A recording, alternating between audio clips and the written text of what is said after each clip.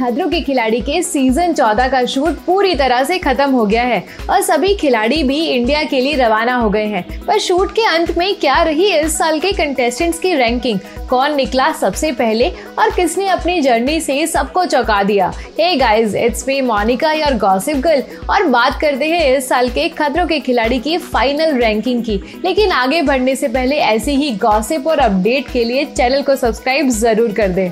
Show की शुरुआत होगी टोटल 14 कंटेस्टेंट से, जिसमें हमें हर उम्र के कंटेस्टेंट देखने को मिलेंगे और हर फ़ील्ड के भी। शो में सबसे पहले एलिमिनेट होंगी रूही चतुर्वेदी। और अपनी बदकिस्मती और बैड परफॉर्मेंस की वजह से वो इस साल खतरों के खिलाड़ी में अपनी छाप नहीं छोड़ पाई। इसके बाद जो एलिमिनेट होगा, उसकी किसी ने उम्मीद नहीं की थी। मैं बात कर रही हूँ रोहित रॉय की, और वो भी शो की काफ़ी शुरू में ही शो से निकल जाएँगे। इसके बाद खबरों के मुताबिक शो से एलिमिनेट हो सकती हैं नायरा बनर्जी, लेकिन इनको वापस एज ए वाइल्ड कार्ड बुलाया जाएगा, जिसके बाद वो शो के फिनाले तक हमें देखने को मिलेंगी। ग्यारहवें नंबर पर जो शो से बाहर होने वाला है, वो है अंजलि आनंद। और इनके एलिमिनेशन से भी सबको बहुत दुख होगा, क्योंकि इनकी सबसे बनती जो इतनी थी, इस साल टेंथ नंबर पर शो से बाहर होंगी अंजुम फकी। पर इनको भी अच्छी परफॉर्मेंस की हिस्ट्री के चलते एक और मौका दिया जाएगा कम्पीट करने का। पर वो फिर से जल्द ही शो से बाहर हो जाएँगी और फिनाले में अपनी जगह नहीं बना पाएँगी।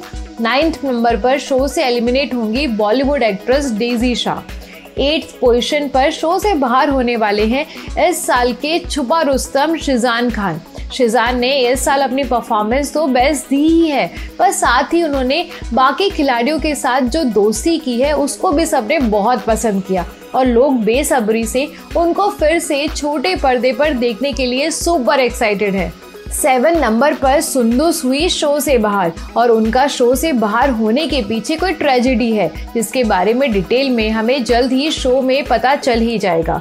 सिक्स नंबर पर एलिमिनेशन होगा इस साल की एंटरटेनर क्वीन अर्चना गौतम का। पर ये फिर भी फिनाले के टास्क तक हमें जर्नी में अपने दोस्तों को सपोर्ट करती हुई ज़रूर नज़र आएँगी।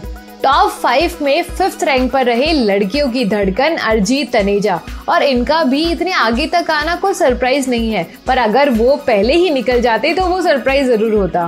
फोर्थ पर है फ़ेमस रैपर डीनो जेम्स इनको पर्सनली इतने लोग नहीं जानते, पर खतरों के खिलाड़ी में उनको देखने के बाद इनका फ़ैन बेस ज़रूर डबल होने के चांसेस हैं। इस साल टॉप तीन में अपनी जगह बनाई है पंजाबी सिंगर रश्मीत कौर ने। और इनके इतने आगे तक आने की किसी को उम्मीद नहीं थी। पर अपनी धमाकेदार परफॉर्मेंस से वो फिनाले में हमें सबके साथ कम्पीट करती हुई नज़र आएँगी। सेकंड रैंक पर इस साल हो सकते हैं मराठी मानो शिव ठाकरे। शिव के फैंस ने तो शिव को उसी दिन विनर मान लिया था, जिस दिन उनका नाम खतरों के खिलाड़ी के लिए फाइनल हुआ था। पर असल में वो जीते हैं कि नहीं, वो तो वो खुद भी नहीं जानते। इस साल के विनर हो सकती हैं ऐश्वर्या शर्मा। पर अभी भी शिव और ऐश्वर्या में फिफ्टी फिफ्टी है। और दोनों में से कोई भी जीत सकता है। आपके अकॉर्डिंग कौन होगा इस साल का विनर मुझे कमेंट करके ज़रूर बताएँ। और ऐसे ही शोज़ की अपडेट्स के लिए चैनल को सब्सक्राइब करना ना भूलें। जल्दी मिलूँगी अगली इंटरेस्टिंग गॉसिप के साथ। अब तक के लिए बाय गाइज़ टेक केयर